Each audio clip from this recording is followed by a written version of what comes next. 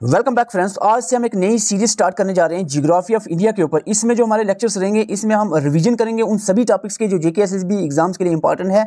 और इस सीरीज़ की जो वीडियोस होंगी, उनके एंड में हम दो तीन मिनट ऐसे रखेंगे, जिसमें जो भी चीज़ें आज हमने पढ़ी उस लेक्चर में, उसको हम जल्दी से याद करने की कोशिश करेंगे। ताकि ये जो लेक्चर्स हम ला रहे हैं, इसमें जो चीज़ें आप सुनेंगे, वो आपको वीडियो खत्म होने तक याद भी हो जानी चाहिए हमारी पूरी कोशिश रहने वाली है। और पॉइंट टू पॉइंट ही चीज़ें यहाँ पर कवर की जाएँगी तो एंड तक ज़रूर बने रहिए। अगर आप किसी भी जेके एस एग्ज़ाम की प्रिपरेशन कर रहे हो अपकमिंग एग्ज़ाम्स की तो ये नोट्स आपके लिए बहुत इंपॉर्टेंट रहने वाले general awareness GK of G K computer English और रीजनिंग ये कॉमन सिलेबस है जो कि हर एक जीके के एग्ज़ाम में देखने को मिलता है। ये व्हाट्सएप नंबर पर आप कंटैक्ट करके ये नोट्स ले सकते हो। और इसके साथ अगर किसी पार्टिकुलर एग्ज़ाम के लिए नोट्स लेना चाहे patwari female supervisor forest GK police JK P S I tehsildar, इनके नोट्स भी आपको मिल जाएँगे। व्हाट्सएप नंबर पर कंटैक्ट कर सकते हो। तो आइए स्टार्ट करते हैं। आज की क्लास ये स्क्रीन ले सकते हो आप। की वीडियो उनके लिए इंपॉर्टेंट रहने वाली जिन्होंने जियोग्राफी थोड़ी बहुत देखी हुई है, थोड़ा पढ़ा हुआ है। जिन्होंने बिल्कुल जियोग्राफी देखी नहीं है, समझी नहीं है, उनके लिए वीडियो बिल्कुल भी नहीं रहने वाली है, क्योंकि यहाँ पर हम पॉइंट टू पॉइंट चीज़ें देखेंगे। डायरेक्ट हम याद करने की कोशिश करेंगे क्योंकि वो चीज़ें जो आपको बार बार भूल जाती है, वो चीज़ें हम याद करने की कोशिश करेंगे। तो एंड तक ज़रूर बने रहिए। आइए स्टार्ट करते हैं। सबसे पहले हम बात करेंगे पोलिटिकल डिवीज़न ऑफ़ इंडिया में लोकेशन के बारे में। इंडिया की जो लोकेशन है ग्लोब में, ये सपोज़ ग्लोब है, ये इक्वेटर है। इक्वेटर के ऊपर नॉर्थ लेटीट्यूड्स होते हैं। नॉर्थ लेटीट्यूड्स की बात करें तो इंडिया लैटीट्यूड में आठ डिग्री चार इंच से लेकर सैंतीस डिग्री छः इंच, यानी सीधा आप इंच को छोड़ा। आठ से लेकर सैंतीस डिग्री जो है नॉर्थ लैटीट्यूड में एक्सटेंड करता है इंडिया और अगर हम ईस्ट की बात करें, यहाँ से लॉन्गिट्यूड चलते हैं जो ईस्ट की तरफ़ इंडिया लाई करता है, यहाँ पर कहीं।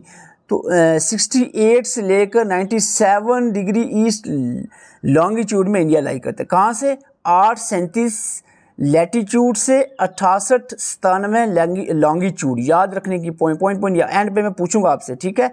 लोकेशन आपने याद रखनी है इंडिया की लोकेशन क्या है? ओके दूसरा इंपॉर्टेंट पॉइंट है कि इंडिया के जो इंडियन स्टैंडर्ड टाइम है जो इंडिया के बीचों बीच में एक लॉन्गिट्यूड गुजर रहा है जो जिस लॉन्गिट्यूड का आ, नाम है 82 डिग्री 30 इंच लॉन्गिट्यूड जो कि डिसाइड करता है इंडिया का टाइम इंडियन स्टैंडर्ड टाइम तो ये जो बासी डिग्री 30 इंच का लॉन्गिट्यूड है ये इंडिया के मिडल से गुजरता है और उसका जो बिल्कुल मिडल पॉइंट है वो मिर्ज़ापुर यूपी से गुजरता है, ये पॉइंट्स आपने याद रखना। और दूसरा इंपॉर्टेंट पॉइंट लॉन्गिट्यूड टाइम के टाइम जोन के रिलेटेड जो ग्रीन विच मीन टाइम है, जो वर्ल्ड का सबसे मीन टाइम है, उससे इंडिया का जो टाइम है, वो पाँच घंटे थर्टी मिनट आगे है। साढ़े पाँच घंटे इंडिया जो है का time Greenwich mean time से साढ़े पाँच घंटे आ गए ठीक है? और कौन सा लॉन्गिट्यूड यहाँ पर इंडियन स्टैंडर्ड टाइम डिसाइड हुआ है? बासी डिग्री थर्टीन ये दोनों पॉइंट यहाँ यहाँ पर आपने याद रखने हैं, ठीक है? ये पॉइंट आपका कवर हो गया और लोकेशन वाला भी कवर हो गया। दो इंपॉर्टेंट पॉइंट है, मैं सीधा बात करूँगा पॉइंट्स पॉइंट्स लेकर। एरिया उतना ज़्यादा इंपॉर्टेंट नहीं है, बत्तीस लाख सतासी हज़ार दो सौ तिरसठ स्क्वेयर किलोमीटर इंडिया का एरिया है। सेवन्थ लार्जेस्ट कंट्री है एरिया वाइज इंडिया ये इतना ज़्यादा इंपॉर्टेंट नहीं है, लेकिन लैंड बाउंड्री अगर हम इंडिया की बात करें तो इंडिया की जो लैंड बाउंड्री है, इंडिया की पंद्रह हज़ार दो सौ किलोमीटर है। मैन लैंड जो मैन लैंड का जो कोस्टल एरिया है कोस्ट यानी जो इंडिया की जो मैन लैंड है, ये जो इंडिया सपोज़ नक्शा इंडिया का आप देखते हो, इसका जो कोस्टल एरिया जहाँ से समुंदर अटैच हुआ है, ये वाला एरिया तो ये जो कास्टल एरिया है, ये इसकी लेंथ इकसठ सौ किलोमीटर है। ठीक है, कितना? इकसठ सौ किलोमीटर। अगर हम आइलैंड्स को भी मिला दें आइलैंड्स का जो लैंड पानी से मिली हुई है कोस्टल पे तो यहाँ पचहत्तर सौ सोलह किलोमीटर आता है इंक्लूडिंग आइलैंड आइलैंड्स को छोड़ दो, जो इंडिया की बाकी कोस्टल प्लेन्स हैं लाइन से कोस्टल समुद्र से अटैच हुआ जो एरिया है, वो इकसठ सौ किलोमीटर है। ठीक है, गुजरात सबसे ज़्यादा कोस्टल एरिया कवर करता है। ठीक है तो ये पॉइंट भी कवर हो गया आपका। ये वाला पॉइंट भी कवर हो गया। ये एग्ज़ाम में पूछे जाते हैं इस तरह के पॉइंट अब हम बात करें इंडिया का जो सपोज़ जियो आपका आ गया north south east, west. India का जो एक्सटेंट है, ईस्टर्न साइड अगर हम देखें तो किबातू, अरुणाचल प्रदेश स्टेट का किबातू सबसे ईस्टर्न मोस्ट पॉइंट है इंडिया का।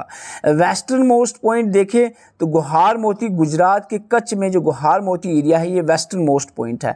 नॉर्थ की बात करें और साउथ की southern most point Indira point है और नॉर्थन मोस्ट पॉइंट जो है वो इंदिरा कोल है इंदिरा कोल यहाँ पर शायद लिखा नहीं है। इंदिरा कोल जो है नॉर्थ मोस्ट पॉइंट है। तो ये पॉइंट्स आपने याद रखने हैं इंडिया का जो एक्सटेंड है। इसके बाद अगर हम बात करें tropic of cancer tropic of cancer India से भी गुजरता है मिडल से इंडिया के, और जो ट्रॉपिक ऑफ़ कैंसर है, इंडिया के आठ स्टेट से होकर गुजरता है। गुजरात, राजस्थान, मध्य प्रदेश, झारखंड, छत्तीसगढ़, वेस्ट बंगाल, मिजोरम, त्रिपुरा। इन आठ स्टेट्स को आपने याद रखना है। इसके लिए आपको ये ट्रिक दी हुई है ग्राम जेसीबी मित्र। ग्राम से आ गया गुजरात, राजस्थान, मध्य प्रदेश। ठीक है?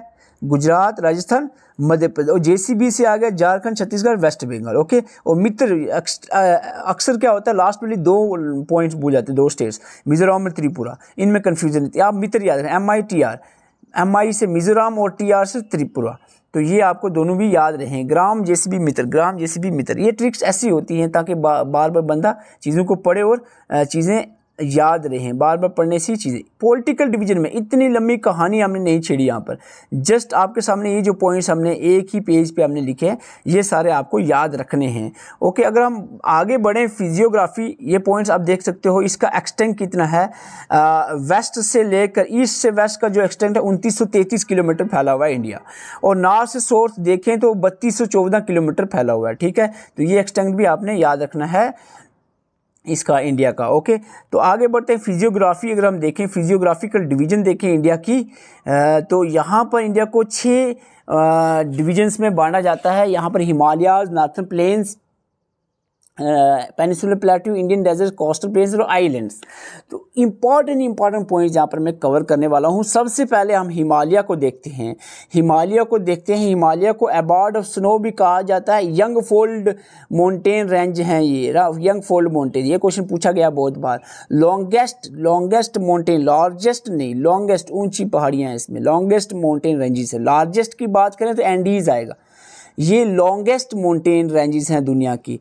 और हिमालय जो है फर्दर डिवाइड होता है चार सब डिविजन्स में, जैसे कि ग्रेट हिमालय जिसको हिमाद्री भी कहते हैं लेसर हिमालय जिसको मिडिल हिमालय या हिमाचल भी कहते हैं ट्रांस हिमालय जिसको तिब्बतिन हिमालय भी कहते हैं ओटर हिमालय जिसको शिवालिक्स भी कहते हैं। आपको सीधा सीधा ऐसे ही पूछा जा सकता है, हिमादरी कौन सी हिमालयाज होते हैं? ग्रेट हिमालयाज तो ये पहले तो इसकी डिवीजन्स आपने याद रखी हिमालय की चार डिवीजन्स आपने याद रखनी है। अब एक एक करके हम देखते हैं। ग्रेट हिमालय जिसको हिमाद्री कहते हैं ओल्ड है इन सब में से, चारों में से। Oldest of the three core of this जो इसका कोर है, वो ग्रेनाइट से बना हुआ है। ग्रेनाइट के रॉक्स पाए जाते हैं। इसके कोर ऑफ़ द जो हिमाद्री है। अवरेज एलिवेशन देखें तो छः हज़ार से ऊपर मीटर्स इसकी हाइट रहती है। वर्ल्ड की जो हाइस्ट पीक्स हैं, जैसे कि माउंट एवरेस्ट जिसकी हाइट अठासी मीटर है। ये भी ग्रेट हिमालय में है।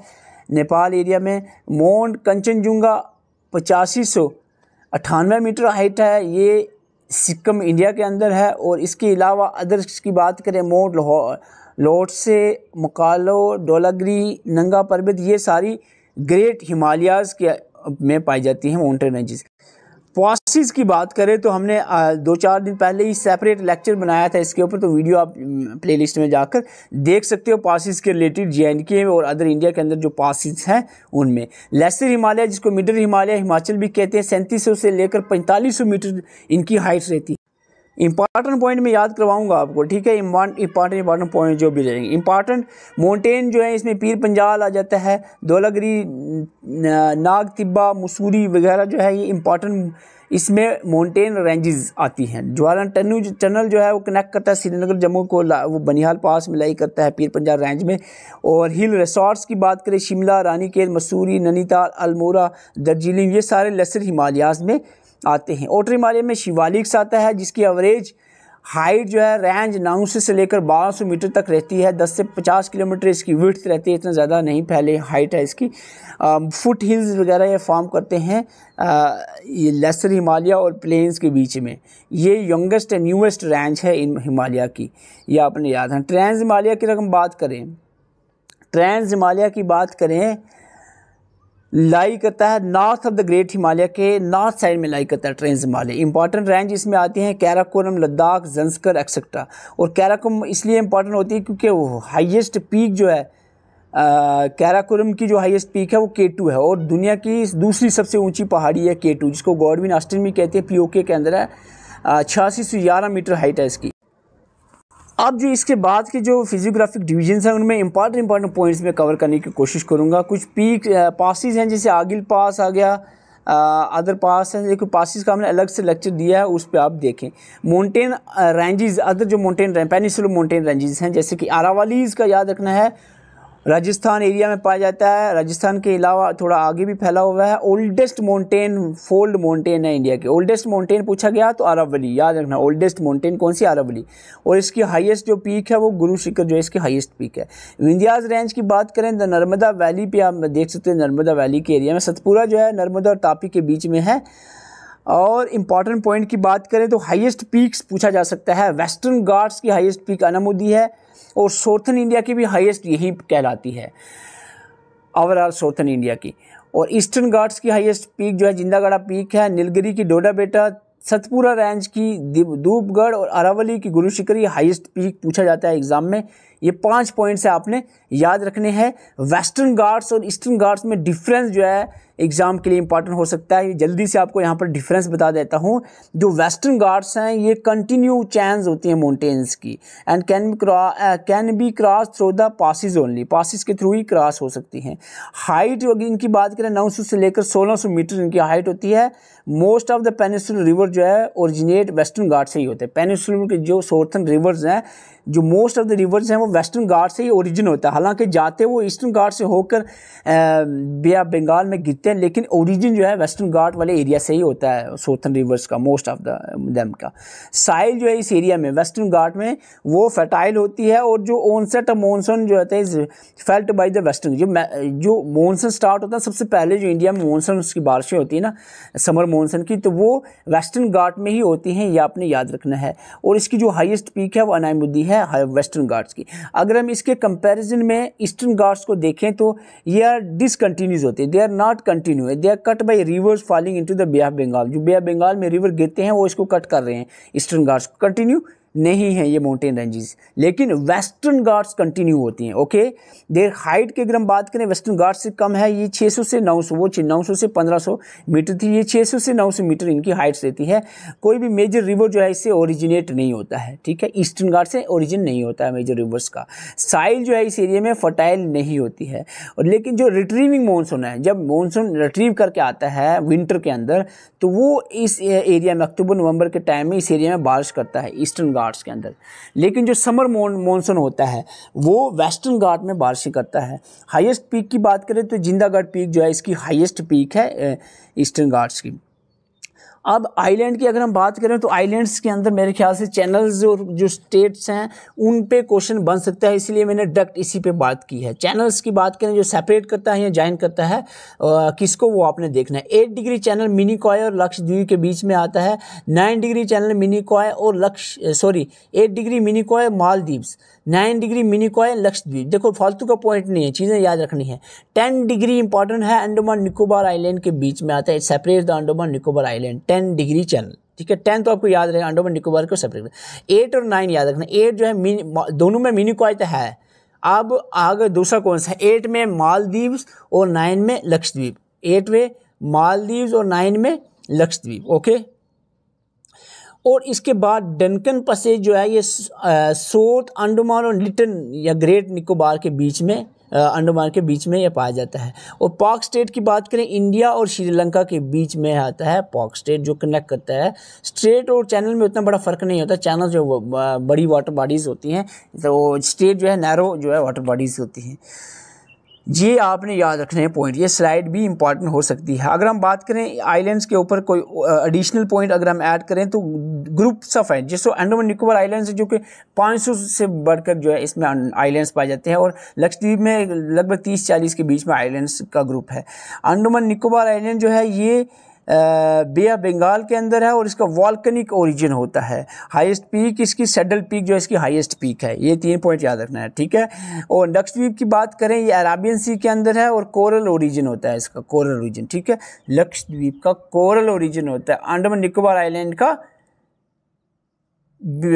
वॉल्कनिक ओरिजिन होता है। तो ये आपने बैरन आइलैंड, अंडमान निकोबार के अंदर एक वाल, बैरन बैरन आइलैंड आपने याद रखना है, जो कि एक्टिव जिसको हम कह सकते हैं ओनली एक्टिव वल्कनो है आ, इंडिया के अंदर। तो वो अपनी याद रखें बैरन आइलैंड कहाँ है? अंडमान निकोबार आइलैंड के अंदर। इस इसके बाद प्लेन्स के रिलेटेड दो तीन पॉइंट्स ऐड करते हैं। दो आप या दो जिस जो भी इसको पढ़ो आप ये एक एल्यूवियल लैंड होता है बिटवीन टू कन्वर्जिंग रिवर्स दो रिवर्स आब होता है पानी दो होता है दो। ऐसे सिंपली समझे। दो आब यानी दो आब दो पानी वाटर बॉडीज़ के बीच में, दो रिवर्स के बीच में जो लैंड होती है, दो आब। और इसके बाद प्लेन्स की बात करें कभी कभी एलिवियल प्लान जो होते हैं, इनको दो पार्ट में डिवाइड किया जाता है, खादर एंड बांगर। खादर जो होता है, वो होता है न्यू एलिवी में, और बांगर जैसे, बांगर से आप देखें, बूढ़ा बूढ़ा ओल्ड ओल्ड बी से बूढ़ा बी से ओल्ड ओल्ड एलिवियम एलिवियम तो ये आपने याद रखना, ये पॉइंट्स पूछे गए एग्ज़ाम में, इसीलिए मैं यहाँ पर डिस्कस कर रहा हूँ। और ये जो सभी आपको चीज़ें पढ़ाई गई तो इन सब के आपको नोट्स मिल जाएँगे व्हाट्सएप नंबर पे आप कांटेक्ट कर सकते हो तो आपको नोट्स अवेलेबल करवा दिए जाएँगे। आइए थोड़ा सा रिवीजन कर लेते हैं स्क्रीन शॉट ले सकते तो थोड़ा सा मैंने कहा था दो तीन मिनट रिवाइज करेंगे चीज़ों को, ताकि चीज़ें जो भी हमने सुनी है, पढ़ी है, वो आपको याद रहे। सबसे पहले हमने बात की लोकेशन पे, जो कि आपको याद रखना है इंडिया की लोकेशन आठ से लेकर सैंतीस नॉर्थ लॉन्गी लेटीट्यूड और अठासठ से लेकर नाइन्टी सेवन उनतीस का उनतीस का डिफरेंस रहता है, आपने याद रखना आठ से उनतीस का डिफरेंस रहता है। अप्रॉक्सीमेट तीस का ले लेकर चलो। जैसे कि आठ से अट्ठतीस एक कम कर लो। अट्ठासी से अठानवे, एक कम कर लो। ऐसे याद रहेगा, ठीक है? ये याद रहेगा, ओके। आगे बढ़ते हैं, जो आपका इंग्लिश स्टैंडर्ड टाइम है कौन से लॉन्गिट्यूड पर है? वो है बासी डिग्री थर्टी इंच। ठीक है, साढ़े बासी। साढ़े बासी पे आपने याद रखना है, मिर्ज़ापुर से गुजर रहा है और साढ़े पाँच घंटे पाँच घंटे thirty minutes Greenwich mean time से आगे है। हमारा इंडिया का टाइम, साढ़े पाँच घंटे का डिफरेंस है इसमें, ओके? आगे बढ़ते हैं, यहाँ पर इंडिया स्ट्रेचेस की बात करें, बत्तीस से चौदह किलोमीटर नॉर्थ टू साउथ और उनतीस से तैंतीस किलोमीटर ईस्ट टू वेस्ट, आपको याद रखना स्ट्रैच इंडिया का, ओके? लैंड बाउंड्री ओवरऑल हम बात करें, पंद्रह हज़ार दो सौ किलोमीटर है इंडिया की लैंड बाउंड्री, लेकिन अगर वो लैंड बाउंड्री जो है, लैंड के जो पानी से जुड़ा हुआ एरिया है कोस्ट लाइन है, वो इक्यासठ सौ किलोमीटर। अगर हम आइलैंड को मिलाकर देखें तो टोटल पचहत्तर सौ सोलह किलोमीटर कोस्ट लाइन है जो समुद्र से जुड़ा हुआ एरिया है इंडिया का। South south north east west जो भी हम इसको eastern most western most point देखें तो ईस्टर्न मोस्ट की बात हो अरुणाचल प्रदेश में है वेस्टर्न मोस्ट पॉइंट गुहार मोती कच्छ गुजरात में है। साउथर्न मोस्ट इंदिरा पॉइंट और नॉर्थर्न मोस्ट इंदिरा कोल जो है, ये आपने याद रखना है। टॉपिक कैंसर ग्राम जीसीबी मित्र आपने याद रखना है। ग्राम जेसीबी में गुजरात, राजस्थान, मध्य प्रदेश, जेसीबी, झारखंड, छत्तीसगढ़, वेस्ट बंगाल और मित्र में हमारा याद रखना मिर्ज़ापुर, त्रिपुरा, ओके? तो ये आपको याद रखना टॉपिक ऑफ़ कैंसर कहाँ से गुजरता है? फिजियोग्राफिक डिविजन्स में आपका हिमालय सबसे पहले आता है great Himalaya Himadri lesser Himalaya middle Himalaya trans Himalaya Himalaya Tibetan Himalaya और ओटर हिमालय को शिवालिक्स कहते हैं, ओके? इसके बाद अगर हम बात करें, इनको एक एक करके भी आपने देखा है और इसमें ज़्यादा आपने उतने ज़्यादा पॉइंट कवर नहीं किए हैं। ग्रेट हिमालय इन सब में ओल्डेस्ट रेंज है और इसका जो कोर है ग्रानाइट से बना हुआ है छः हज़ार से ऊपर इसकी जो है एवरेज एवरेज की बात, हालाँकि तो अठासी सौ अड़तालीस मीटर की पहाड़ियाँ भी इसी में आती है ग्रेट हिमालयाज़ में। कंचनजुंगा जो कि इंडिया की प्योरली बेस्ड जो है हाईएस्ट माउंटेन है, कंचनजुंगा पचासी सौ अट्ठानवे मीटर, अगर हम पी ओ क्यू के हटा दें पी ओ क्यू की मिलाकर जो है वो हमारी के टू आती है, जो कि पी के के अंदर है और ट्रांस हिमालय के अंदर आती है। लेसर हिमालय ये माउंटेन रेंजेस के बारे में आपने देखा। इसके बाद आरावली जो ओल्डेड ओल्डेस्ट माउंटेन रेंज है और इंपॉर्टेंट पॉइंट जो याद रखने चाहिए, वो आपके ये हैं वेस्टर्न घाट की जो हाईएस्ट पीक है अनाईमुद्दी और आपको अगर साउथ इंडिया के highest peak of south India पूछा जाए तो वो भी अनाईमुद्दी आएगा। ईस्टर्न घाट जो है, कि हाईएस्ट पीक जिंदागढ़ पीक है, नीलगिरी की डोडा बेटा सतपुरा की धूपगढ़, अरवली की गुरुशुक्र, ये पाँच ही पॉइंट हमने कवर किए हैं साफ़ साफ़ भूलने की यहाँ पर गुंजाइश नहीं है। ईस्टर्न और वेस्टर्न गार्ड का डिफरेंस हमने देखा। वेस्टर्न गार्ड जो कि कंटिन्यू होते हैं, सिर्फ़ पासिस के थ्रू ही उसको कट लगे हैं। अदरवाइज़ ये रिवर वगैरह नहीं गुजरते हैं वेस्टर्न घाट्स से। और इसकी हाइट जो है नौ सौ सोलह सौ मीटर में होती है और मोस्ट ऑफ़ जो रिवर्स हैं पेनिसुला के, वो वेस्टर्न घाट से ही ओरिजिन होता है उनका। साइल इस एरिया में फर्टाइल होती है मानसून की पहली बारिशें भी यहीं पर होती हैं और हाइस्ट पीक इसकी अनाई मुद्दी है। ईस्टर्न घाट की बात करें तो ये कंटिन्यू नहीं होती हैं रिवर्स इसको कट करते हैं, जो बंगाल में रिवर्स गिरते हैं उसको काट कर जाते हैं। और ये लवर इसकी हाइट्स होती है 600 से 900 मीटर तक ही ऊँचे होते हैं। कोई भी मेजर रिवर्स इससे ओरिजिन नहीं होता है। साइल इस एरिया में फर्टाइल नहीं होती है। रिट्रीविंग मानसून जो विंटर मानसून होती है, अक्टूबर, नवंबर में रिट्रीव करके आती है, हिमालय से टकरा कर तो वो यहाँ पर बारिशें बरसाती है ईस्टर्न घाट में, तमिलनाडु के एरिया में। और हाईएस्ट पीक इसकी जिंदागढ़ा पीक है यह आपने याद रखना है। चैनल्स की बात करें, हमने कहा था एट डिग्री और नाइन डिग्री में आपने ये याद रखना है मिनी का दोनों जगह है। एट डिग्री में मालदीव्स और नाइन डिग्री में लक्षद्वीप और टेन डिग्री आपको याद ही रहेगा, अंडमान एंड निकोबार आइलैंड को सेपरेट करता है। डनकन पैसेज की बात करें सोट टमन निकल लिटिल अंडमान के बीच में है। पॉक स्टेट जो है इंडिया और श्रीलंका को कनेक्ट करता है, ये आपने याद रखना है। अंडमान निकोबार आइलैंड की बात करें बे बंगाल में है और वॉल्कनिक इसका ओरिजिन होता है सेडल पीक इसकी हाइएस्ट पीक है। और लक्षद्वीप की बात करें, अरेबियन सी के अंदर है कोरल इसका ओरिजिन होता है। दो, आप दो रिवर्स के बीच में कन्वर्जिंग जो लैंड होती है, खादर न्यू एल्यूवियम और बांगर जो है ओल्ड एल्यूवियम को कहा जाता है। ये पॉइंट्स आपने याद रखने और इसके अलावा आप जो है, मैंने कोशिश की आपको चीज़ें याद रहें, आप नोट्स इस नंबर पे व्हाट्सएप मैसेज करके नोट्स लें और उसको एक बार नोट्स के थ्रू भी अपने सेल्फ स्टडी करें और जो अपने एडिशनल बुक्स हैं आपके पास, उससे भी रीड आउट करें ताकि ये जो टॉपिक है particular political and physical division वाला टॉपिक आज का, आज ही आपको ये कवर हो जाना चाहिए। Thank you for watching channel पर नए चैनल को सब्सक्राइब कर सकते हैं ताकि हम इस सीरीज़ को कंटिन्यू रख सकते हैं। अगर आपको लगता है ये सीरीज़ आपके लिए बेनिफिशियल है तो वीडियो को लाइक करें और कमेंट करके ज़रूर बताएँ कि हमें अगली सीरीज़ अगला जो लेक्चर किस पे लाना चाहिए।